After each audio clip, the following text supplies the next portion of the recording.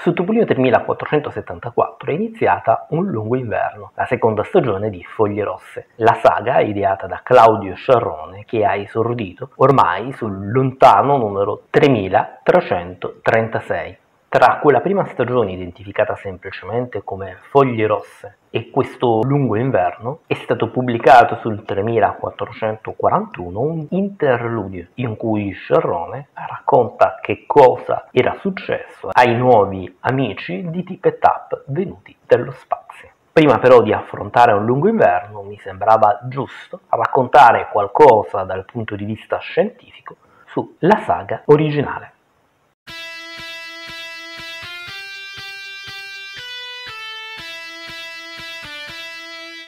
La nuova proposta da autore completo di Claudio Sciarrone si andava ad inserire all'epoca all'interno di una più generale rivalutazione dei personaggi bambini della Disney. Infatti in quel periodo c'era una riscrittura sia dei nipotini di Paperino, poi qua sia dei nipotini di Topolino, Tipetap. All'interno di questa riscrittura giocò un ruolo fondamentale proprio Foglie Rosse, visto che con Foglie Rosse in particolare venne introdotta la band rock dei due nipotini di Topolino. La storia però strizzava qualcosa di più di un semplice occhio agli appassionati di una serie televisiva come Stranger Things. Infatti, proprio come la serie televisiva ideata dai Duffer Brothers, anche Foglie Rosse può essere riassunta come un incontro narrativo tra Steven Spielberg e Stephen King. In pratica abbiamo una storia fantascientifica in cui Tip e Tap e i loro amici, i componenti appunto della loro band, entrano in contatto con un alieno proveniente dal classico pianeta lontano lontano. Phil, o come poi si scoprirà nell'interludio Figli, è il componente di una razza di scienziati particolarmente longeva. Tra l'altro gli abitanti del pianeta di Phil sono tutti, al tratto per come Sharone li disegna, non molto differenti dai guardiani di Oa, coloro che danno in pratica il potere alle lanterne verdi nell'universo DC Comics. La storia comunque vede questi scienziati dello spazio invasi da una razza di rettili, stiamo parlando degli Sgaroth, che in qualche modo sono un'esaltazione all'ennesima potenza di qualcosa che in realtà gli esseri umani stanno facendo sulla Terra. Infatti, nel pianeta di figli che gli Sgaruts hanno conquistato, questi ultimi hanno consumato praticamente qualunque risorsa planetaria. Quindi hanno deciso di sfruttare le conoscenze scientifiche e tecnologiche degli abitanti dell'ultimo pianeta conquistato per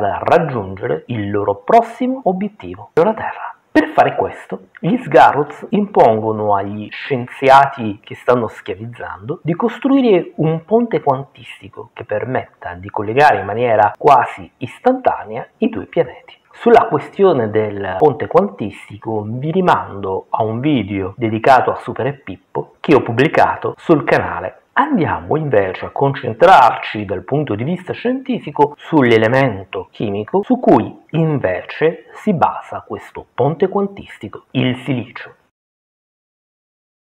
Il silicio, numero atomico 14, è l'elemento chimico che nella tavola periodica si trova subito sotto al carbonio. Condivide col carbonio tutta una serie di proprietà, tant'è vero che molti autori di fantascienza, ma in parte anche qualche scienziato, prende in seria considerazione l'idea che potrebbe esistere nell'universo una qualche forma di vita, intelligente o meno, chi lo sa, basata non sul carbonio come la vita sulla Terra, ma sul silicio. In linea teorica praticamente tutti gli elementi chimici sotto il carbonio sono capabili per poter essere base per forme di vita alternative a quella basata sul carbonio. Però in realtà dal punto di vista energetico il silicio è quella che subito dopo il carbonio presenta più vantaggi, anche se è comunque molto più complicato già avere una forma di vita basata sul silicio. Se andiamo a vedere l'abbondanza relativa degli elementi chimici sulla Terra, scopriamo poi che il silicio è il secondo elemento più abbondante sulla superficie del nostro pianeta, con il 27,7%.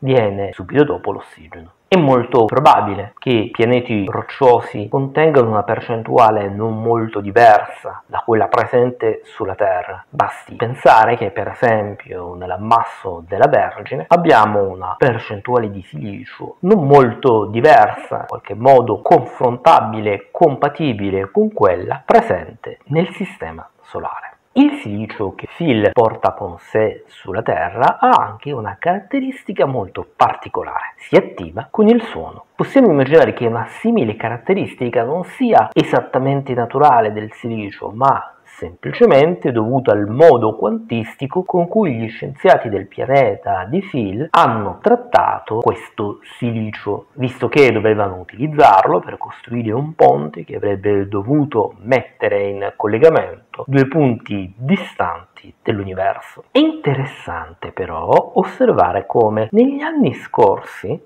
si sono svolte alcune ricerche che hanno cercato di mettere in relazione alcune proprietà del silicio proprio con le vibrazioni. Ad esempio, andando un po' indietro nel tempo, nel 2009 un gruppo di ricerca del Coltec ha affermato di essere riuscito a costruire una microbatteria in grado di convertire la luce in vibrazioni e le vibrazioni in luce.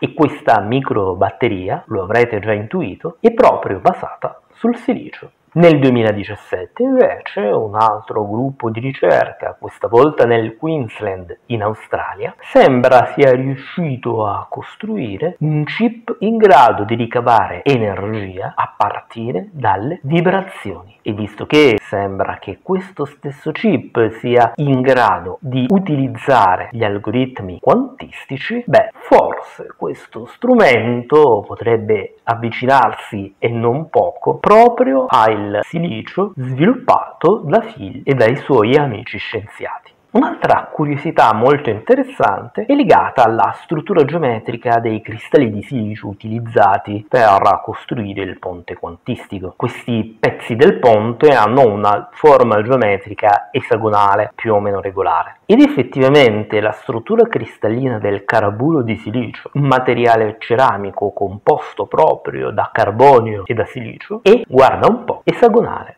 Questo composto poi ha una durezza molto elevata, intermedia tra il corindone e il diamante ed è quindi uno dei materiali più super duri a noi noti. Inoltre è molto raro trovarlo sulla Terra, però sembra sia particolarmente diffuso nello spazio, per cui non è poi così incredibile pensare che sia proprio il carburo di silicio il cristallo su cui Phil e i suoi amici hanno basato la costruzione del loro ponte quantistico.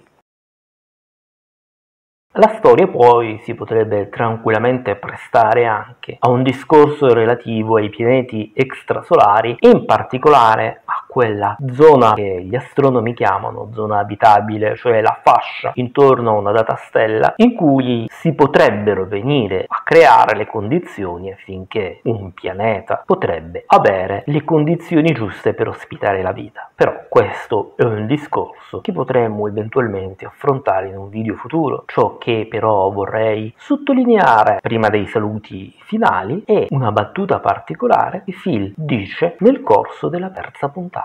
Ricercare e sperimentare è nella mia natura. E questa frase non solo identifica Phil, ma in qualche modo ci avvicina, ci fa capire un po' meglio persino il mondo di noi che lavoriamo con la scienza, ricercatori o divulgatori che siamo. E questa cosa è veramente molto preziosa e di ciò, forse ancora di più che di tutta la saga, ringrazio caldamente proprio Claudio Sciarrone. Per cui, arrivati a questo punto, non mi resta che invitarvi a iscrivervi al canale e attivare la campanella per ricevere le notifiche su tutti i nuovi video caricati. E a questo punto un caro saluto a tutti dallo spazio. Forse era meglio se mi radevo prima di fare il video.